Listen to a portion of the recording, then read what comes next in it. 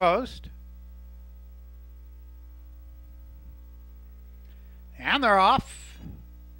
For the lead from the inside, it's Solid Rush. From between horses, JG's Jazz Band. Going very wide into the first turn. Hot Nights in Michigan, the first time starter, blew the turn and is dead last. As they move forward the backstretch, it's Solid Rush on the inside. Now up from between horses. Zoom, zoom, zap. The extreme outside, JG's Jazz Band. Circle the Runway. It's uh, is is on the inside. It's Circle the Runway and JG Jazz Band. Solid Rush is third. Then a gap of four. Rex's Jet runs fourth. State Charmer is fifth. Two lengths back to Potential Plus.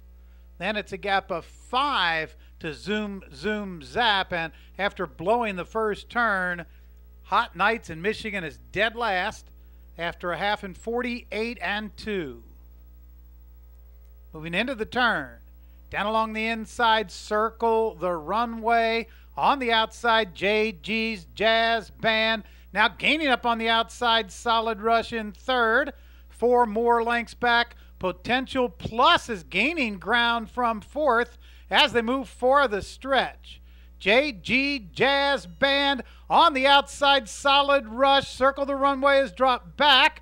Potential plus up on the outside. Now a late run from Hot Nights in Michigan. They're nearing the wire. JG's Jazz Band has the lead over Solid Rush. JG Jazz Band by ahead. Solid Rush second. Then Potential Plus. Circle the runway.